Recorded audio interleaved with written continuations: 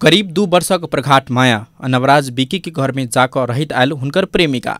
नवराज की प्रेमिका जहन हुनकर घरे में जाइ छली आ रहै छली ओहि समय हुनकर माय अर्थात नवराजक माय हम सब दलित छी, अहाँ सब बड़का जातिक लोक, एहन में बियाह होनाइ संभव नहीं अछि। ब्याह नहीं कैलासँ निकै सुझाव समेत दै छली मुदा नवराज की प्रेमिका अस्मिता मल अपने नवराज से बहुत अगाध माया करै आपके आठ वर्ष बाद बियाह करवा लेल तैयार छी कै जिद्दी करैत छली घरमा आएर बसी आइसकेपछि नानु अनि तिमी त अब केटी साथी केटा साथी हो कि केटी साथी आऊ तिमी चाहिँ म केटा कोठामा बसिरहेका हुन्छौ।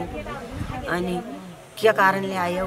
हामी त अब दलित हो तिमी मल्ल ठकुरी हो भन्छौ के कारणले आउँछौ भनेर हामी पार्टी नै हाम्रो फरक छ। हामी माओवादी पार्टीको हो। हाम्रो बुवा मम्मीले पनि मलाई केही गर्नुहुन्न। यसको र मेरो बिहा आठ वर्ष पछाडि हुन्छ।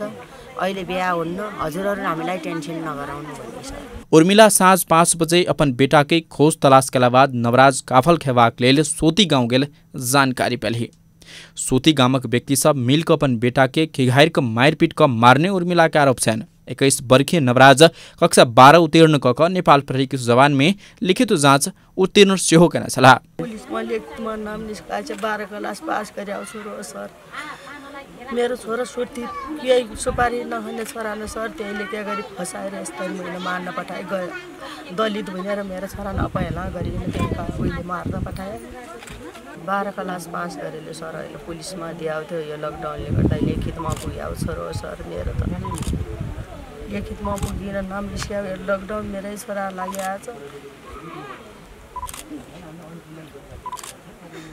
लकडाउन नभइदिए सर मेरो छोरा अहिले मुखसिरमै भित्त पर्ने थियो यस्तो घटना हुने थिएन। त्यो केटी जता जान्थ्यो जान्थ्यो नवराजसँगै गेल हुनकर संगतिया इन्द्रजङ शाह सोतीमे हुनका सबके पिटपाट क मार्ने बतबेतैछ तिनीहरूलाई सबले कोही नै मेरो हाम्रो साथीहरू यो सबलाई मारेर फालेको सबलाई मारेर फालेको तपाईँ मात्रै बाँच्न सफल हुनुभयो तपाईँहरू हजुर सबलाई मारेर फालेको जो म भेटिँदैछन् तिनी सबलाई मारेर फाल्यो। ढुङ्गाले हान्थ्यो टाढो टाढोबाट ढुङ्गाले हान्थ्यो। बिचमा पनि गर्थ्यो तिनीहरूलाई मार्नको लागि।